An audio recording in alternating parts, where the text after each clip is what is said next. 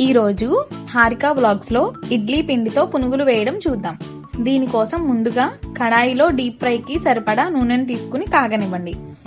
ఈలోపు బౌల్లో ఇడ్లీ పిండిని తీసుకోండి. ఇది వాటర్ని కలపకుండా ఉన్న పిండిని తీసుకోండి. ఇందులో రుచికి సరిపడా సాల్ట్ కొద్దిగా బియ్యం పిండి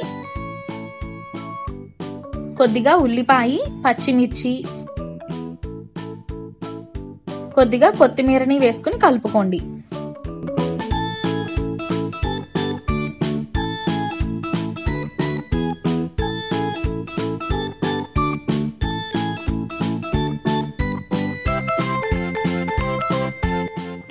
ఆయిల్ వేడయ్యాక మంటని మీడియం ఫ్లేమ్లో పెట్టుకుని చిన్న చిన్న పునుగులుగా వేసుకోండి.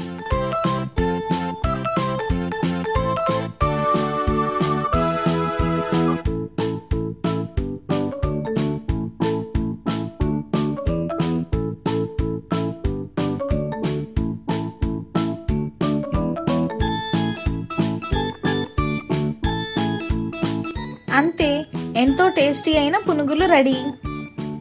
If you like this video please like share and subscribe to my channel అలాగే పక్కన ఉన్న గంట సింబల్ని కొట్టడం మర్చిపోకండి.